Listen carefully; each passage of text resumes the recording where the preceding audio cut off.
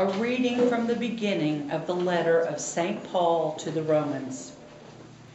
Paul, a slave of Jesus Christ, called to be an apostle and set apart for the gospel of God, which he promised previously through his prophets in the Holy Scriptures, the gospel about his Son, descended from David according to the flesh, but established as Son of God in power according to the Spirit of holiness, through resurrection from the dead, Jesus Christ our Lord.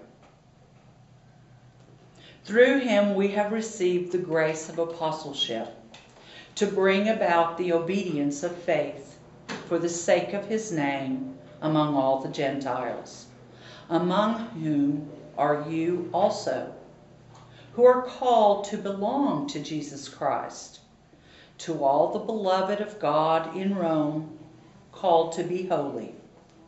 Grace to you and peace from God our Father and the Lord Jesus Christ. The word of the Lord. Thanks be to God.